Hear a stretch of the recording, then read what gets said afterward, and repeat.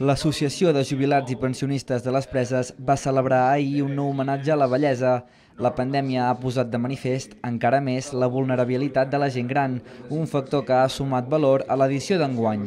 A les 12 del matí, el Centre Cultural del Poble va acollir l'assemblea de socis, on es van repassar totes les activitats que ha fet l'entitat durant els darrers dos anys.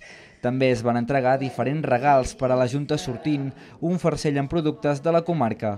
Eh, es manté viva i com que eh, han tingut, no han pogut tenir el contacte tot aquest temps entre ells, el poder-se veure almenys en una jornada així els hi dona molta alegria.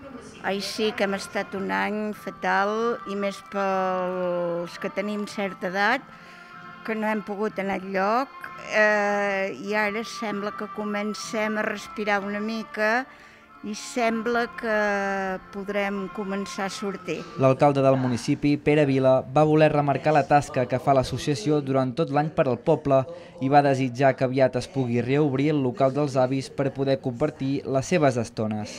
Evidentment és un punt importantíssim perquè celebrar cada any ells, l'assemblea, és un fet d'exposar totes les seves activitats que ells fan durant l'any, en aquest cas durant dos anys, malauradament, però que la veritat és que exposar totes les seves activitats i poder compartir aquesta estona tots ells, doncs és, és fantàstic. La celebració va concloure amb diverses danses de l'Esbar Marboleny, que no es va voler perdre l'homenatge a la bellesa.